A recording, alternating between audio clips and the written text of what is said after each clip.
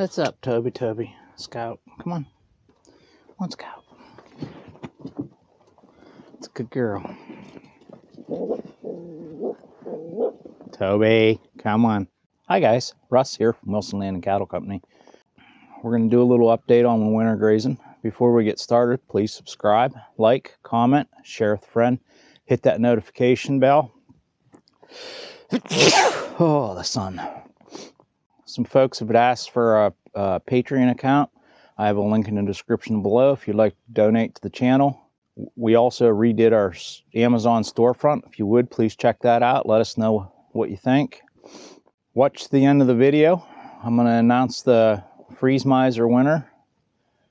And we're also going to do another giveaway. You need to subscribe, like, comment, share with a friend, and hit that notification bell in order to win the giveaway. Okay, we've been feeding hay for 21 days here. We're working across this field here. We're putting it about 30 foot intervals to help get our nutrients distributed across the field. This field here doesn't have very good stockpile in it, and it's because the field's not very productive. We're trying to get as much uh, nutrients on this field as possible. This field here we've always struggled with. And another reason we're in this field, we had some days where the temperatures went up to 50s and 60s, the frost went out of the ground, and our fields that we have, we still have good stockpile. And those good stockpile fields, the frost had went out and we have we risked pugging the fields up. And this field here is on the south side of my farm. And being that it's on the south side of the farm, we have trees. Of course, my farm's completely surrounded by trees. I don't have any yeah, we're we're 100% surrounded by trees, and being it's on the south side of the farm, we still have snow laying and it's still froze down, so we're not pugging anything up.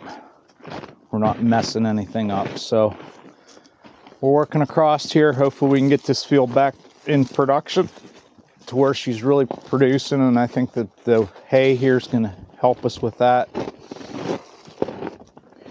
See the cows, they're happy. All the girls, they look pretty good. I've got a couple of them that are kind of getting a little thin, but those are the ones that are slotted to go out of the herd here. So I'm not too worried about that. I think there's two or three of them in there that need to go because they're not they're not pulling their own weight, I guess you could say. Here's our stock tank.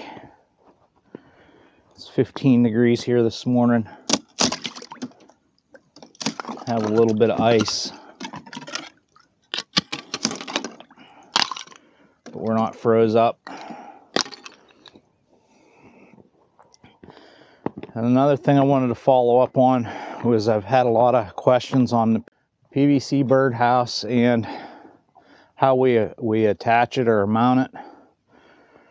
Tree swallows, bluebirds, you want your bird box five to six feet off the ground and you want them spaced at least 35 feet apart. We have three of them in this on this fence row. We're going to be adding more. I just went and I bought some wood to make to make some more bluebird boxes and actually they're going to be tree swallow boxes. We're going to actually make them specifically for tree swallows. We're going to show you how to do that. But to mount our PVC bird house, we just have an inch and a half square pressure treat. And then we run two screws into the top of our post. And then we run one screw into the wood piece underneath our PVC pipe. And then we have a quarter inch bolt bolting it onto there. And it sits on there pretty well like that. And I like my bird boxes to be over top my fence post. I found if they're sticking out, say if I were to face this bird box away from the post out that way, the cows would get the rubbing on it and, and cause a lot of havoc. So I just try and put the bluebird box over or birdhouse over top of the fence post. Another thing with our fence or our bluebird houses or our tree swallow houses, we want them facing east, and that direction there is east for me, or you want them fencing facing north, east or north. So anywhere from here to there, facing in that direction there is how we want our bird boxes to face. And our winds come in from the south. Our prevailing winds come from the south, southwest most generally. So the weather's hitting this side of the box and we don't have a risk of rain or snow blowing into the into the house whenever they're facing away. So that's a little more on the bluebird house.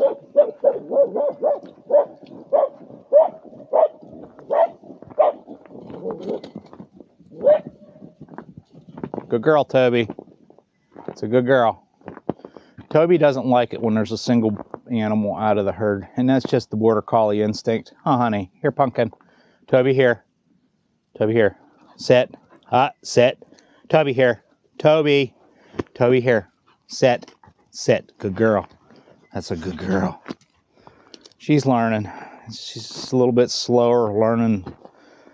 She's a little bit slower than most border collies. She's a little bit hard-headed, so um, getting her commands is really, really difficult for me. And we're working through that. Mr. Scout, he's hiding underneath the bale cart there. So guys, that there's just a little update on what we're doing as far as hay grazing. We're going to probably feed hay yet here for another five or six days and then we're headed back into stockpile. Um, I'm going to be away here Wednesday and Thursday. So I want to try and just keep the cows here because it's just going to be easier as far as management goes, being that we're going to be, that I'm that I'm going to be away. The family will still be here, but I want to try and make things as easily as possible for those guys because the kids are still in school and I don't want them to um, eat up a lot of their school time make them have to work super extra hard. Okay, for our giveaway, Todd Kasky won our freeze miser. Hey guys, it's kind of a follow-up on uh, the large square bale flaker video and the freeze miser giveaway. I didn't realize I could just do this on YouTube, but I can go ahead and just pick a winner. Let's go ahead and pick a winner here. See who we won. Okay, Todd. You're the guy that won uh, Freeze Miser. I will be getting in contact with you here and we'll get that shipped out to you. Thanks a lot. Appreciate it.